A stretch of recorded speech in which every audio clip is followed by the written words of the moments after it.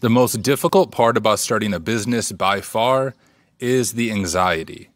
Now, I told you guys from the beginning, I wanted to share with you the good and the bad as I'm on this journey of starting my own pen testing firm, of creating courses, of going full time in content creation, all these other various things that I have going on.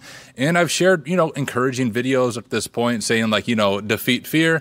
But I want to be real with you guys. This weekend, my anxiety has been through the roof. Now, I'm not generally an anxious person, but by far, once again, the most difficult part about starting a business is the anxiety.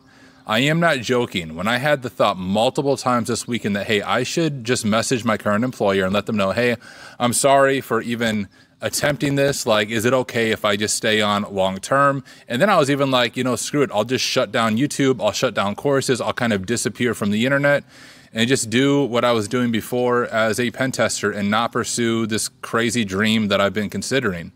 And there's a few reasons behind that. One is just the unknown. I have a set salary right now. I am paid every month.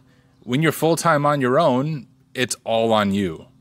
Whether or not you get paid or not is going to be based on your level of work as well as a level of luck and a level of branding and marketing. And that the anxiety that comes with that, if you've never done it before, you can't fully appreciate the anxiety that comes with being an owner.